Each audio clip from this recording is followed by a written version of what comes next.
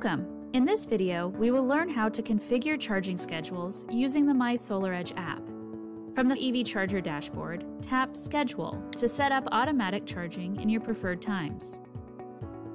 Tap the plus icon to add a new schedule. You can add up to four weekly schedules. For each schedule, set up the start and end hours, then select the applicable days.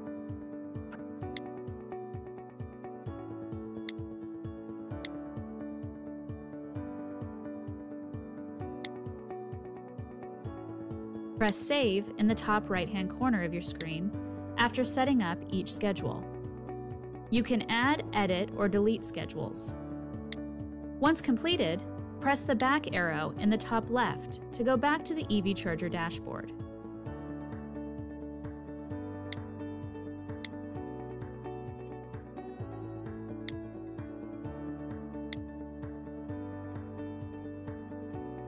Now we can see that the next schedule appears on the upper part of the dashboard. Make sure that your car is connected to enable charging at the next scheduled cycle. Happy charging!